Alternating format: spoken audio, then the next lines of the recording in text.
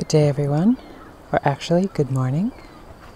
Today is the day we are going to be decorating the terrace.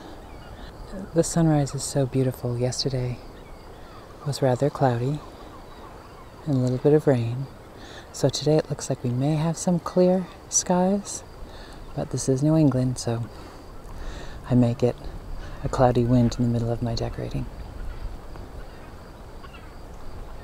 But I just wanted to start today's video how I start most of my mornings.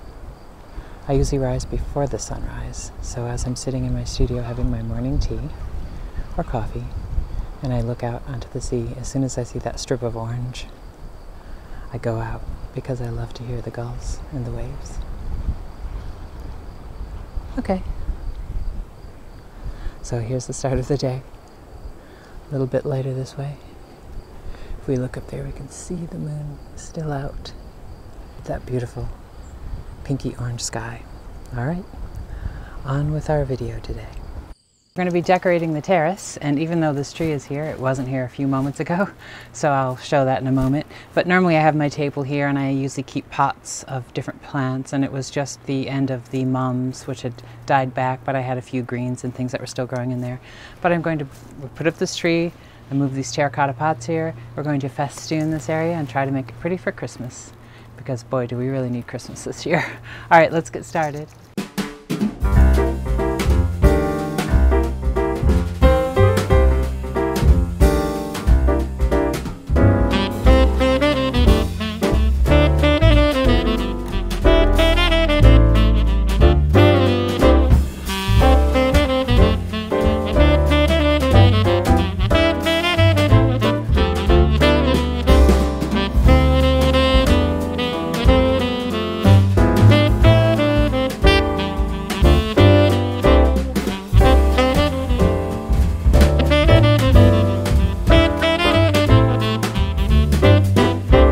The story of this tree is pretty interesting. I used to work at Starbucks years ago, and um, for an artist actually working part-time in the mornings at Starbucks is actually a great place to work. But um, at Christmas time they had a, a, pair of these trees and at the end of the season they were going to throw them away and I asked may please have them as opposed to throwing them in the dumpster. And I've used them every year. And this year, this is the first time I'm trying them out here on the terrace. I'm kind of excited. It's really heavy duty um, metal and I have used them outside before and they didn't rust or anything. And it has a heavy metal base and all these little gold balls are just fastened in. They've always been a part of the original tree so I just leave them. So I think it's going to work out here, we'll see. And then I have my two terracotta urns which we'll put our greens in and some other pretty sparkly things. And then I think I'll festoon here with some garland. And even though I want to have it somewhat natural, I think I also, because this year we need Christmas so much, even though we have the beauty of the seaside and natural elements, I'm still going to add some sparkling glitz out here, I think, just because why not? After 2020, I think we need it. Okay, so let's go get our garland and start doing that next. I have this funny little wreath, I think it's from the dollar store, and it's uh, has a little bell on it, so I'm hoping that that will um, deter the squirrels, but it probably won't. So I was thinking of having that be in the center because then as the wind picks up the bell, it'll both sound lovely and also possibly keep the squirrels away. I don't know.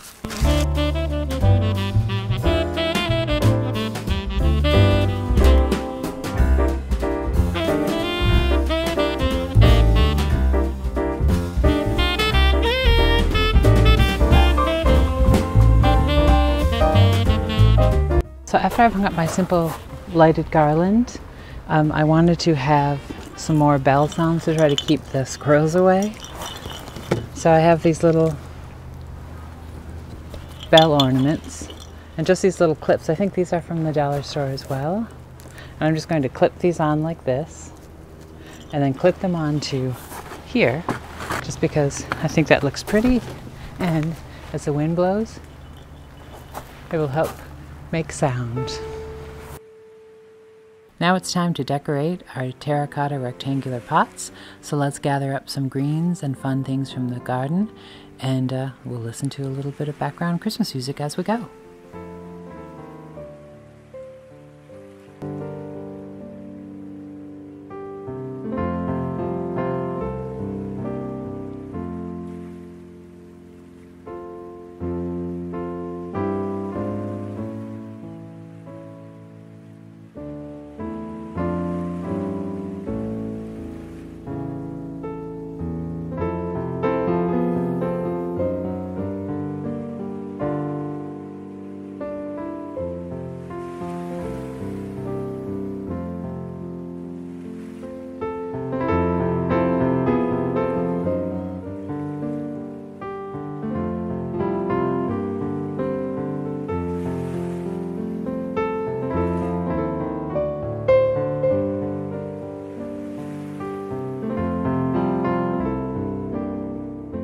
Sticking with the classic uh, kind of red and gold out here, predominantly red, I'm going to put natural greens in my two terracotta pots, but I still want a little sparkle. So I have these little tinsel Christmas trees I'm going to use as the centerpiece, and then I have some glittery faux ferns that I thought we could use to mix in with the greens. So let's try that. So as I know I want this to be my centerpiece, and I look, I still have some old herbs in here because these are my herb pots that I use on the dining table out on the terrace. Some old oregano, or is this lemon thyme? I'm just going to leave that. Putting this in as the centerpiece. I'm then going to just take some of our the greens I cut this morning. I have some cedar that I just cut from a tree from the beach. Cut that into a few pieces and I'm just going to be really loose with it. Stick some here and there, a little piece there in threes. I like to work in groups of threes. And the juniper, which our uh, native robins love, you can see the blueberries hopefully on there, which they eat anyway, but then they can come here and eat, eat them out of the decorations if they like. I'm just going to stick some of those in there. And again, I don't even know that I'm going to necessarily make these two uh, symmetrical other than I will put the sparkly cone tree which I'm going to wire down in the center of both. And I will make the sparkly faux ferns match. But other than that, I'm just going to stick these greens in randomly just to give it a little Christmas cheer.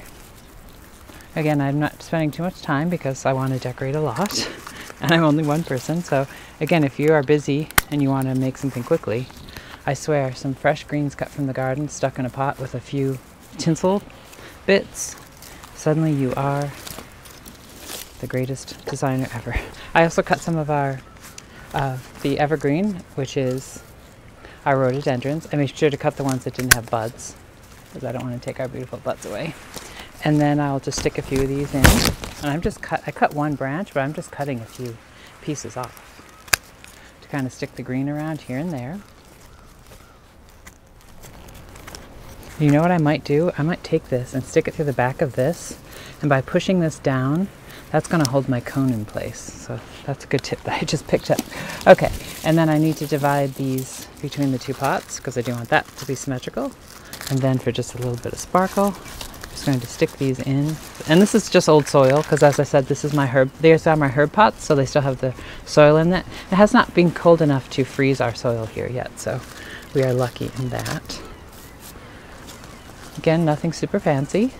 And I'll probably stick a couple of plastic Christmas bulbs in as well if I decide to. It's hard to design from behind, but we'll see how it looks when we're done. I think I want to move this here so you can see it more from the house. And the same with this. If I can just stick that, I'm going to stick that through there as well. Stick that there with this here. And there we have our Christmas pot, and then I'll just mimic it on the other side. So I wanted to keep it sort of bird themed out here in the sense that I want the birds to enjoy it. So I just wanted to keep it simple. So this already has beautiful gold balls in it. So I just have some inexpensive red cardinals. So I'm going to wire the cardinals around. And then I have little red jingle bells. I'm going to hang on the red cardinals and red jingle bells. And then I also wanted to add, I have an extra little bird feeder and I thought it would actually be really sweet if I could put this in here in the ground and then we'll put birdseed in here and then I have one of my arrangements that we made last time with the pine cone and the little bird on top. I'm going to smear that with peanut butter as one of our commenters reminded me that they do that with their pine cones. And I forgot I used to do that as well. I stopped because the squirrels usually get it and my relationship with squirrels here is much like my relationship with bittersweet.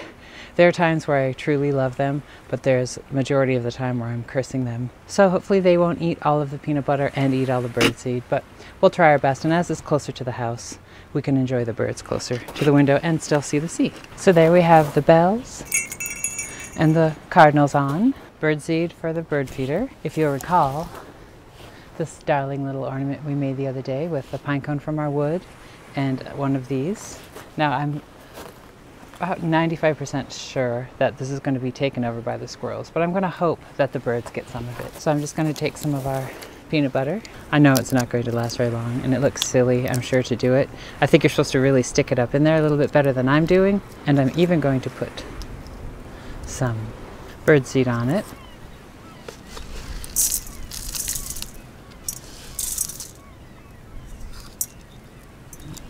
See how adorable that looks? And then I'm going to fasten it to our little central thing here and hoping that the birds will light on it, but it'll be moving too much for the squirrels, but we'll see. And let's fill our feeder for the lovely birds to enjoy.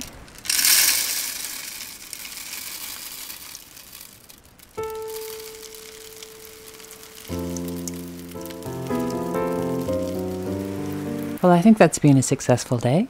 I really wanted to decorate the pergola on the terrace, and I think we've done a pretty good job. The terracotta planters look nice with the juniper berries and the other fresh greens, the sparkle of the seashells as well as the ornaments, and I have the mermaid and some coral on the railing. So I think overall it's been a success. We have our funny little bird planter, and I put extra seed out for the birds, so hopefully they will enjoy it. And sitting here at my desk in the dining room, I can look out and see our Christmas joy. And as the sun's setting, it's really nice to uh, enjoy that. And you can see also I have my paper whites in my peacock and my little punch, punchinello creamer. When I'm not using it, I like to uh, place it with my quail and my planter with the paper whites growing. And this will be the perfect spot to sit and dream and sketch and think about Christmas because we really do need an enjoyable Christmas this year.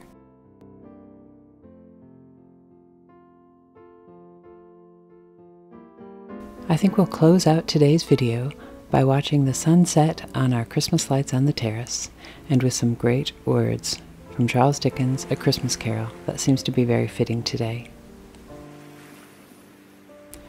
It is a fair, even handed, noble adjustment of things that while there is infection and disease and sorrow, there is nothing in the world so irresistibly contagious as laughter and good humor.